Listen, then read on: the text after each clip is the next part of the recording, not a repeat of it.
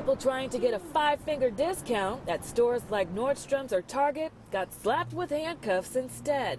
They were caught in the Seattle Police Department's retail theft operation to crack down on shoplifting. These are organized groups that, that hit retailers with the sole purpose of, of stealing to either resell them or use them as currency for other things. 53 people were arrested in one day at these nine stores during a big citywide bust. 16 of them are now in jail.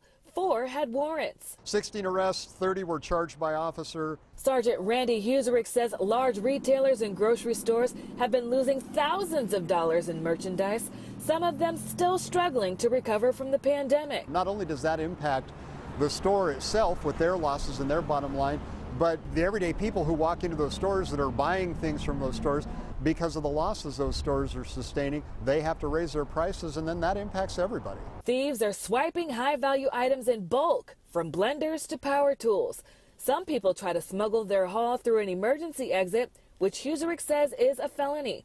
Most are brazen enough to walk out the same way they came in. Oftentimes it's as simple as that. They'll just load up a shopping cart, walk out the door, you know, walk past the points of sale, and walk out the front door with it to an awaiting car, throw everything in the car, and take off. Four people were arrested on 3rd and Pine for trafficking stolen merchandise.